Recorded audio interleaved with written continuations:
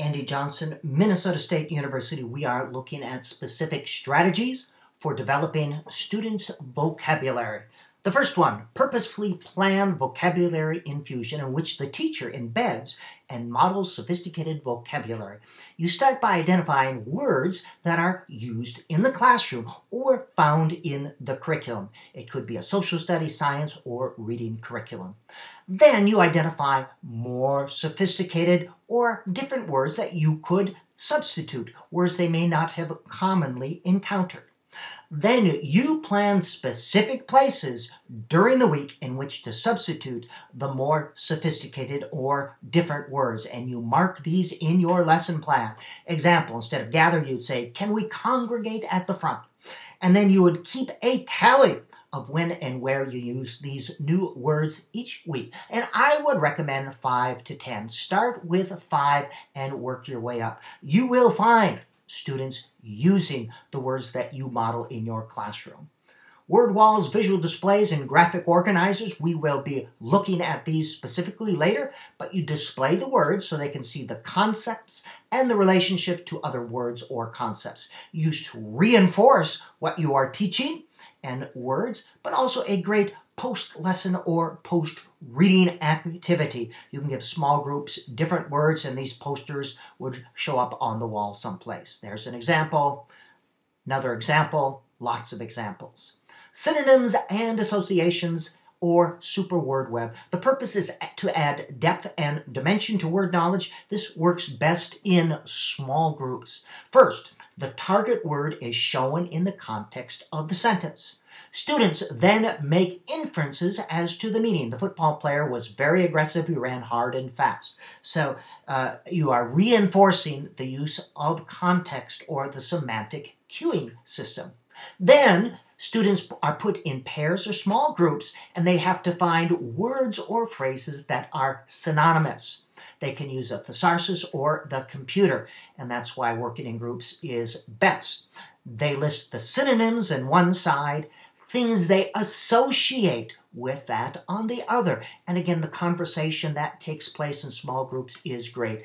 Encourage them to include pictures, either drawings or things cut and pasted from the internet. And you want to simplify for emergent levels. Here's an example of this. You can see it again. A simplified chart. Mary is very inquisitive synonyms there, associations there. For younger students at the emergent level, they may be overwhelmed with having to look up and find synonyms, so I create a synonym box. And I say find three to five or find the words that you know or think are important and put that there. And then they make the associations. Again, works best in pairs or small groups. The super word web is a more visual type of uh, uh, synonym and association. Again, you see the word in context, list three to four synonyms or defining phrases inside the figure and associations on the outside. Again, pairs, small groups create posters or learning log or journal entries. He had a myriad of things to do. Adds depth and dimension. She could play the piano effortlessly. Words or phrases, associations, depth and dimension.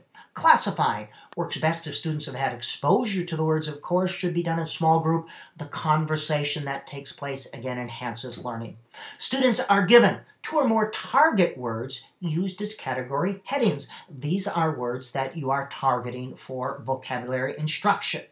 Then you have a list or a word box, and they have to put the word in the right category.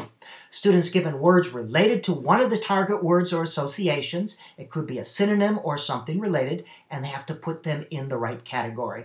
With younger students, I like to use 3 by 5 so they have something to physically manipulate. Older students, these make great posters. You can give them a sheet of paper and they have to put this on a large poster uh, adopt and adapt, uh, you're limited only by your imagination. This is for beginning level readers and above. We have more words here.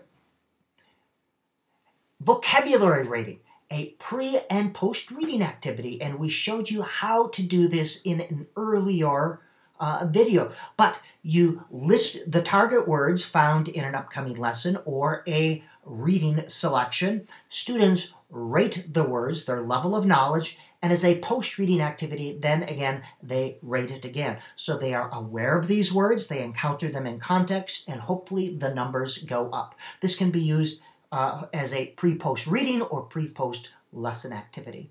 Semantic features analysis, a pre, during, and post-reading activity, all three of these. Uh, you have a table. The target words are found on the vertical axis and descriptors on the top. And you go through this as a pre-reading activity. You do just a little mini lesson on each one. Then as students encounter the word in the text or in the lesson, they check the semantic features that apply. So it's concept learning as well as adding depth and dimension to vocabulary knowledge. Semantic features analysis. All right. That is the end of this one. Next, we'll be looking at visual displays and graphic organizers.